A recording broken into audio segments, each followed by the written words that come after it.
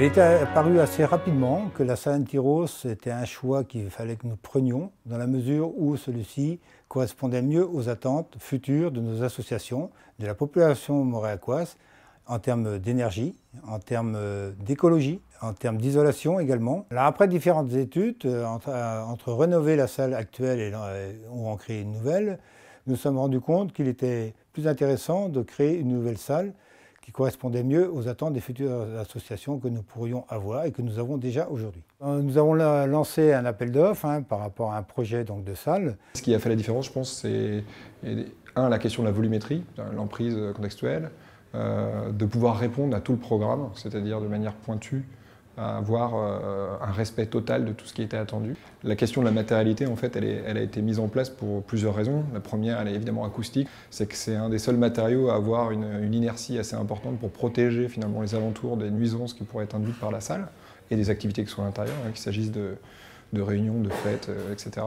Mais c'est surtout un matériau qui était économique dans sa mise en œuvre, du fait des grands volumes qui sont générés, parce qu'à proximité de la salle du parcours, on a voulu jouer un petit peu d'égal à égal pour éviter des disparités urbaines et jouer sur des grandes volumétries. Et ensuite, cette matérialité, oui, bah, elle, avait, quelque chose à exprimer dans sa mise en œuvre qui est, coulée en place, avec des dimensions techniques qui étaient assez élevées. Et finalement, c'est assez économique de ne pas avoir rajouté un parement à l'extérieur. On s'est servi des matériaux de construction euh, pour exprimer l'architecture et puis exprimer euh, le mode constructif du bâtiment. La salle anti-rose sera beaucoup plus spacieuse que celle que nous avons précédemment. Elle permettra aussi d'accueillir davantage de personnes, correspondant mieux aux normes sanitaires, aux normes environnementales, que ce soit l'écologie, que ce soit les économies d'énergie que nous pouvons avoir. Elle correspondra également aux normes PMR, aux personnes à mobilité réduite, que ce soit au niveau des cuisines, que ce soit au niveau de toutes les entrées de salle. Donc cette salle est destinée à recevoir des spectacles, faits par les associations, des repas également, des repas familiaux également. L'insonorisation de la salle fera que il n'y aura pas de, répercussions sonores sur les riverains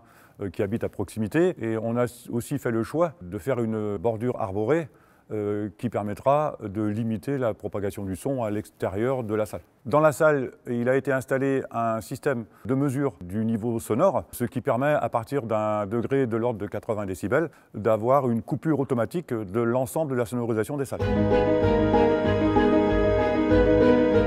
La salle Antiros est une salle multifonction qui pourra euh, être agencée de trois façons différentes. La façon principale d'agencement, ce sera des salles individuelles, avec la grande salle Harvest qui peut accueillir 550 personnes. Ensuite, on aura la salle Braise qui, elle, peut accueillir 150 personnes. Et la particularité, c'est que ces deux salles peuvent être réunies en une seule, et cette fois accueillir 700 personnes. La salle Harvest a la particularité d'avoir des gradins amovibles qui peuvent euh, s'installer, accueillir 196 personnes et en complémentarité, on peut bien sûr ajouter des chaises en devant de scène pour avoir euh, un complément de besoin de place assise. On a la chance euh, d'avoir une scène qui fait environ 120 mètres carrés avec euh, un écran en fond de scène qui, se, qui se déplie, avec des lumières qui permettent bien sûr d'éclairer la scène. Et on a aussi un accès PMR pour accéder par l'arrière de la scène. Et en plus, pour préparer les acteurs, on bénéficie de deux loges à proximité directe de la scène. On a